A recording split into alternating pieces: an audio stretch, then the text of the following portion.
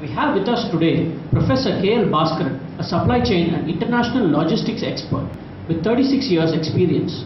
He is an alumnus of the Indian Institute of Management Calcutta and holds a number of certifications from APICS, the Associations for Operations Management USA, ISM, the Institute for Supply Management USA, and ASTL, the American Society of Transportation and Logistics.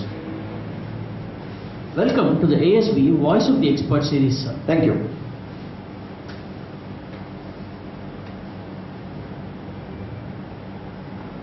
In a recent report on industrial production by the United Nations Industrial Development Organization, India has been ranked among the top 10 countries globally.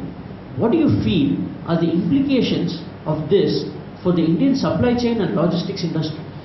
Well, India has come of age in manufacturing. We make good quality products on par with the expectations of the world market. In terms of uh, innovation, yes, we are coming out with innovative products. Our manufacturing processes are well set up.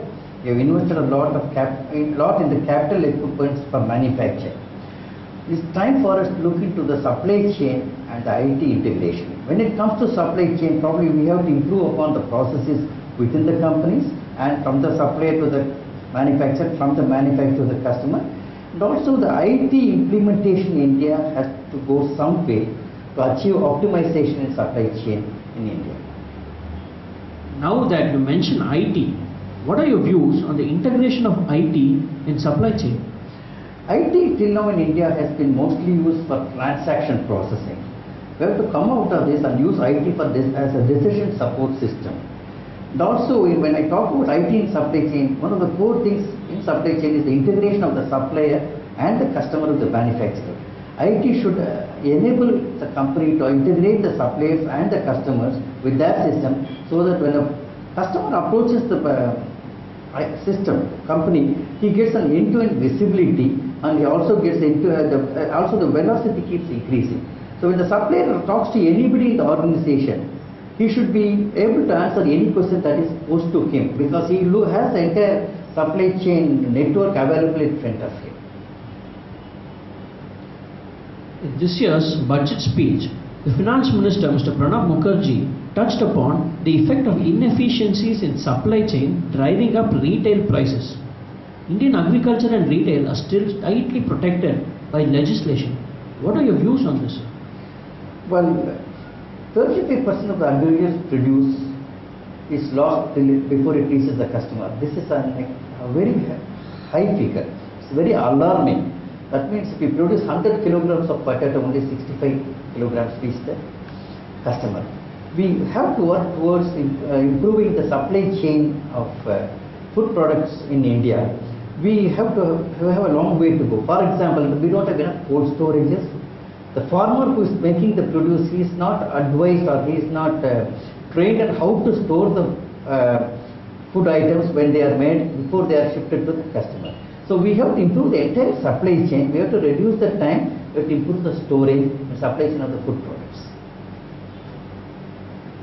You have mentioned the high cost of the logistics industry.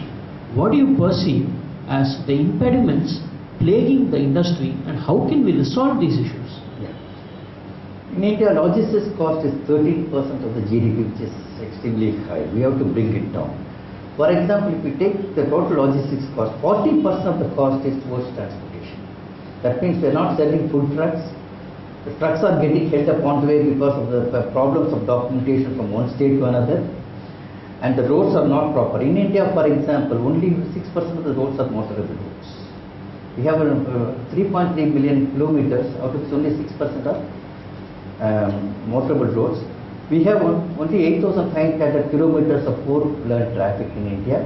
So we still have a long way to go in terms of road transportation. Mr. Pranab Mukherjee recently said in the budget we are going to build 20 kilometers of road per day, which is a very positive sign. When it comes to rail transport, though we have the second largest uh, system in the world, still only 30% of the goods are moving by railway. Here there's a big opportunity to increase the share of railways. As regards airport, 80% of the Indian cargo by airport, by air moves through only four airports. We need to have more airports. Though we have a long coastline, we still have only 12 major ports in India. There's need to have more and more seaports in India.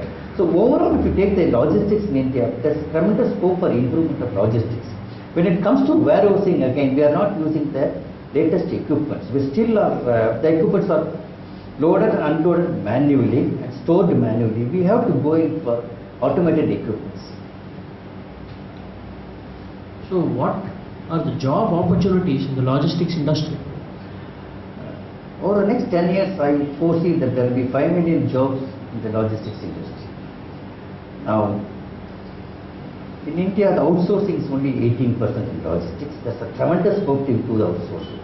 So we need to have a lot of managers who manage the outsourcing.